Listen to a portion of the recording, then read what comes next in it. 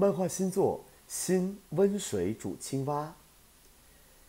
呃，寓言故事啊，一只小青蛙在锅里被煮，哦，它觉得热了，它就跳出来了。它很幸运的跳出来了，啊，它获得自由了，不会被煮熟了。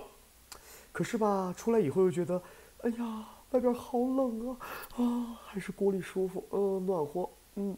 于是它又跳回去了，嗯，然后很惬意的在锅里享受着温暖，然后就被煮熟了。嗯，他讲个小故事哈，呃，以前在纽约的时候遇到过一个朋友，呃，跟我前后脚从墙内出来的，呃，一开始跟我大骂墙内不自由啊，自由真好啊。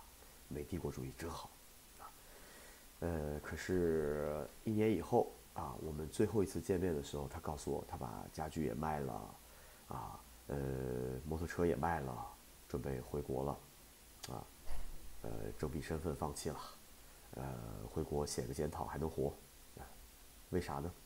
因为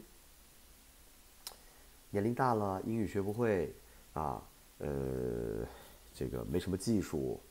呃，这个腰椎又不好啊，呃，体力劳动又做不了。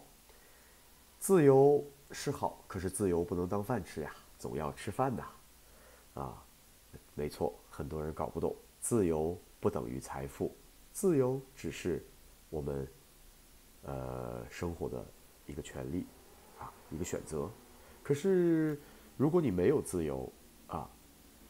你可能连饭都吃不上，哈 哈所以呃，这是一个不紧贴时事的漫画啊。不过涛自己觉得非常有意思，拿来装饰您的书房也很有意思。如果有朋友感兴趣的话，可以私信详询。啊，先温水煮青蛙，大家拼命转，我就拼命画，谢谢大家。